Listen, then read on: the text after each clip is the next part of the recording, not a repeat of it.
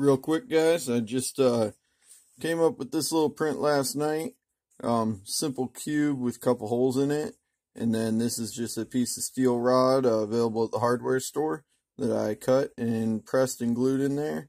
Um that is a five millimeter hole on each side.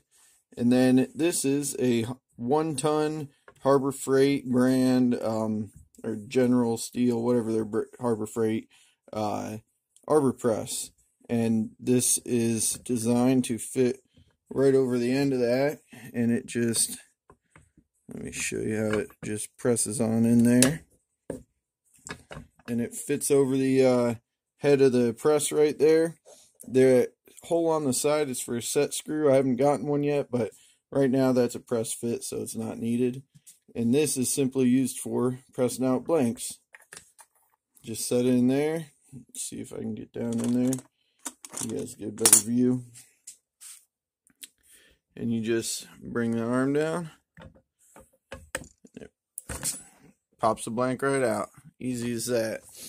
So as you can see, that's pretty simple. Um, neat little print. I will uh, pass this STL file out to anybody that's interested. There you go. Central Machinery, one ton arbor press. There's part number on there if you want to do something similar.